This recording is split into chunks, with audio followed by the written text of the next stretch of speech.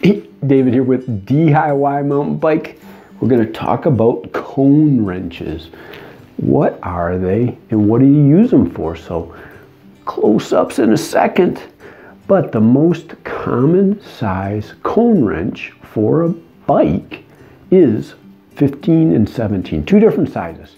So older bikes used a different basically bearing set and with those bearing sets it's kind of finicky to adjust the tension on them correctly. You could make them too loose, real wobbly, or you could make it too tight and it wouldn't turn as well on those bearings.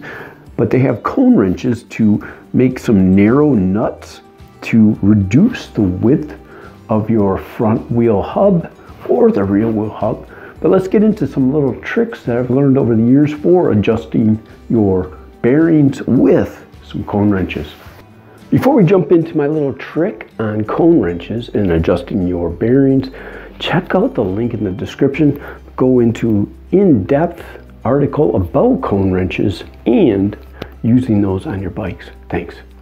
So if you've ever tried to adjust the bearings on your bike, you'll know that these inside nuts, there's a set on both sides, can be finicky, okay?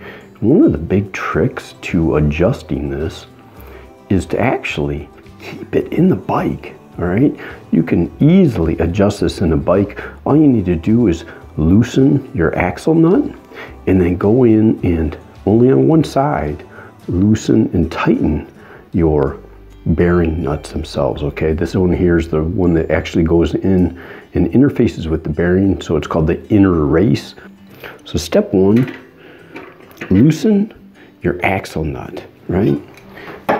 After that, get your two cone wrenches. The thing about cone wrenches, they're really thin. These are not pedal wrenches. A pedal wrench will be a lot thicker, okay, and will not fit as well. Plus, you're gonna probably mess up your wrench if you use it on your pedals. 17 and a 15, if you can see that, 17 and 15.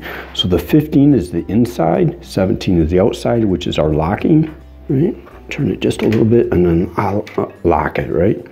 And then manipulate your inner nut, your race, your inner race nut to the tension you want without messing anything up. A good place to be is just a little bit of tension and back off. Now with that cone wrench in place, tighten your locking nut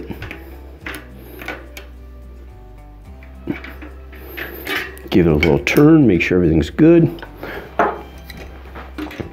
And then tighten up your axle. Nice and smooth. That's how you use your cone wrenches. Subscribe.